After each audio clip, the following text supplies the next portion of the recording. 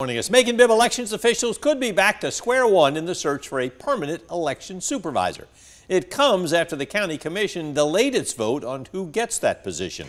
Anthony Montalto explains how the selection process works and why they still haven't made a decision.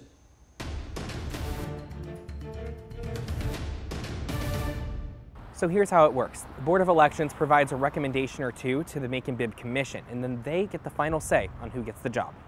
It's been here, and I guess within the Bibb County organization for a couple of weeks now. It all came down to a vote at Tuesday's Macon Bibb Commission meeting. Commissioner Wynn, how do you vote? No. In a 6 to 3 decision, commissioners chose to delay the decision that would give Kenitra Ford the supervisor of elections job. When Commissioner Virgil Watkins asked to add a discussion on Ford's nomination to the agenda, Uh, motion fails. they voted no, and that was that. I don't know that we have enough information on the one candidate, and personally, I'd like to see two candidates or three.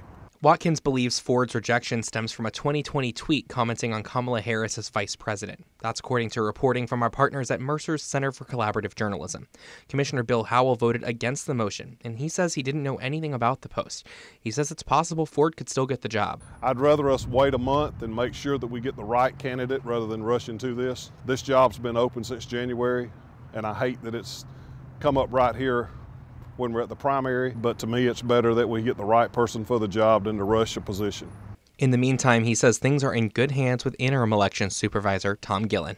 Elections are going fairly smoothly. Uh, we haven't had a huge turnout. Uh, there haven't been any particular lines, but we've had a, a steady flow of voters. In Macon, Anthony Montalto, 13 WMAZ News.